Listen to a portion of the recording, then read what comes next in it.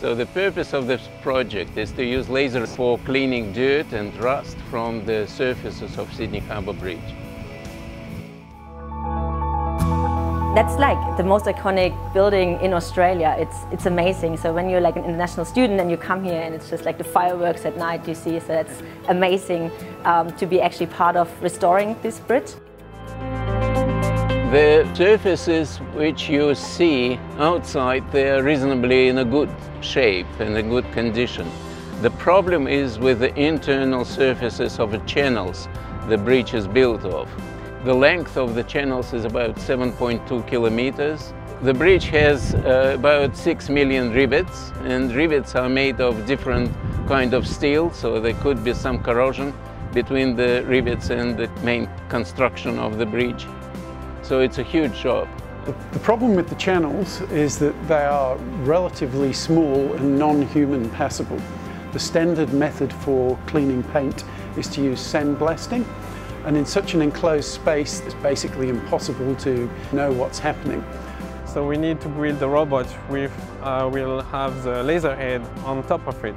So we can crawl on the bridge and clean every part of the bridge and even the difficult uh, area.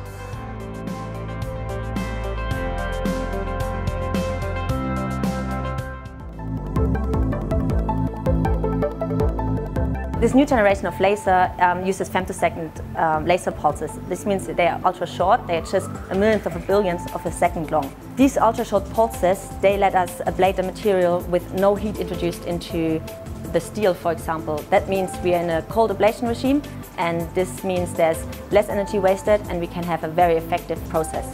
So this is the original bridge with the paint on it and when we laser clean it, this is how the result looks like.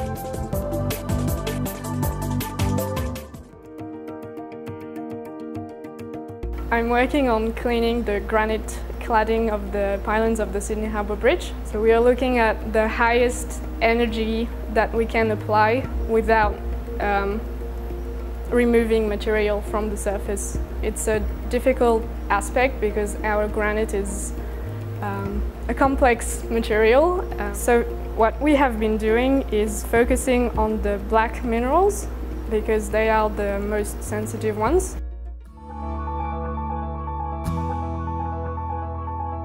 So during this project we put a lot of effort into the testing of the materials after they've been exposed to the laser using pretty much every technique we could think of and lay our hands on.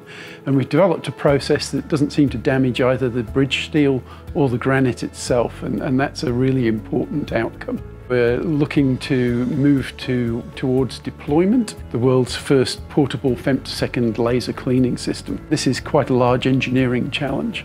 Yeah, top of the bridge could be 40 degrees air temperature, high humidity, solar radiation coming down as well. Uh, the laser was never designed to operate in that environment.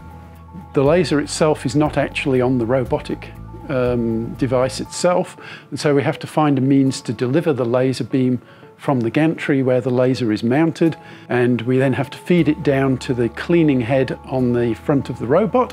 At some points on the bridge, you may have to drop 50 meters from the gantry down to the lower arch and then go into the arch.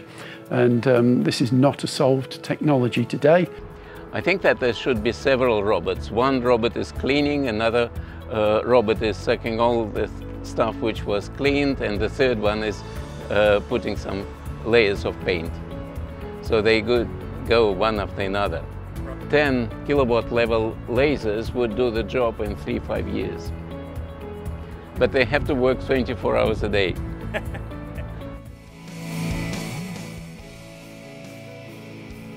I really enjoy the fact that we're applying the lasers on heritage materials. I think that's pretty cool. The strange thing is you go up there and you stop looking at the view and you really start to appreciate the engineering in the bridge. The historical connection with the engineers of the past who spent so much time trying to work out how to make this thing work. And we're now like the caretakers who've got to carry it forward for, for the next set of generations to marvel at. So it's, it's a really satisfying and pleasurable thing to do.